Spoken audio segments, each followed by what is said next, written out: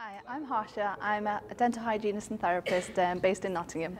Um, I've chosen to come on this course. I was recommended by a friend of mine who's also um, been to this course and she absolutely loved it. So um, today's day at the course was um, really, really good. Uh, very hands-on, very relaxed environment.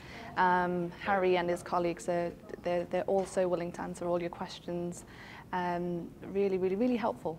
I think that was really good for um, Harry to send um, some um, pre-material to read through. Um, we, we knew what was uh, what it was entailed and uh, we felt a bit confident coming into the course. I would definitely recommend this workshop to other people. Um, like I said, it's been a great day, very relaxed and I've learnt a lot.